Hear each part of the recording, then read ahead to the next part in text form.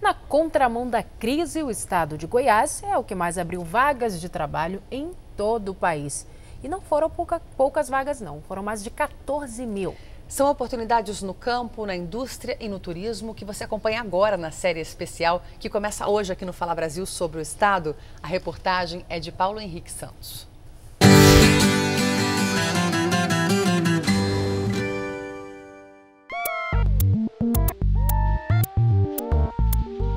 Máquinas de última geração que funcionam em três turnos, 24 horas por dia.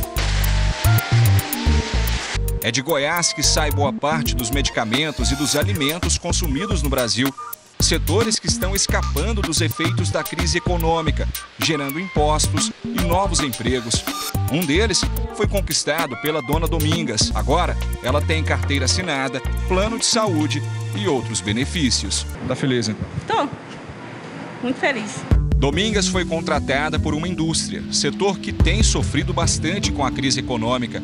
Até setembro, a produção industrial brasileira caiu 7,8%. Mais de 330 mil postos de trabalho foram fechados no país. Em Goiás, o movimento é inverso. Desde o início do ano, a indústria tem contratado mais do que demitido. O saldo positivo até agora é de 6.497 novos postos de trabalho, número que contribui para que o Estado esteja no topo dos que mais geram empregos formais no Brasil. Os dados são do Cadastro Geral de Empregados e Desempregados do Ministério do Trabalho, CAGED. Goiás está com três grandes vetores. O principal deles, o agronegócio. Goiás sempre foi campeão em questão de agronegócio. Então, o estado de Goiás investiu bem nesse setor. Além disso, o setor de serviço também tem dado uma resposta muito positiva. E a indústria goiana também tem dado indícios é, de, de grande contratação, principalmente o polo farmoquímico. Danilo foi contratado há uma semana. Ele é formado em Química Industrial. Trabalhou numa indústria de galões e decidiu montar o próprio negócio de revenda de água mineral.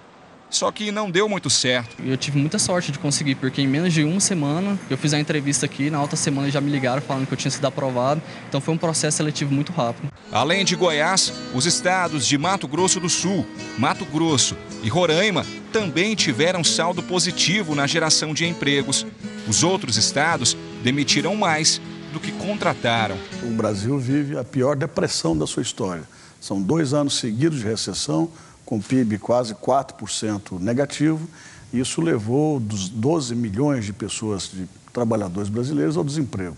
Em Goiás, felizmente, nós estamos um pouco na contramão da história começamos a sair da crise graças a uma série de incentivos que o governo criou ao longo do tempo, especialmente nesses últimos 20 anos, com Produzir, e também graças a um foco muito forte no agronegócio, na formação e qualificação de mão de obra e na infraestrutura. Goiás, como é um estado produtor, um, um grande produtor agrícola, nós podemos produzir muito alimentos, industrializar. Isso também tem gerado muito empregos no nosso estado. Wellington é feirante mas decidiu procurar uma vaga que tenha carteira assinada. Eu não tenho seguro, né, de nada. Aí hoje, tipo assim, eu vou lá e trabalho, se der tudo certo, aí eu venho com a minha renda para casa, mas se não der, por isso que eu quero um emprego fechado. Por isso, fez um curso de vigilante patrimonial e passa o dia distribuindo currículos.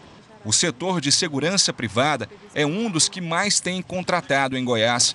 Só essa empresa recebe cerca de 100 currículos por dia. O bom profissional é aquele que, que já tem uma estabilidade boa né, onde, por onde passou, boas referências profissionais e, e que tem vontade de trabalhar mesmo, disposição, não vai faltar oportunidade. Não pode ficar em casa esperando a oportunidade bater na porta, né?